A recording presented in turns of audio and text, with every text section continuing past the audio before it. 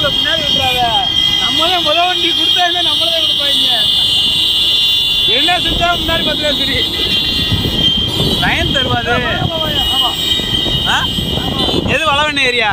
வளவண்ண area அதை தாண்டி தானே போகணும். வண்ணாரப்பட்ட இரு ஏப்பா.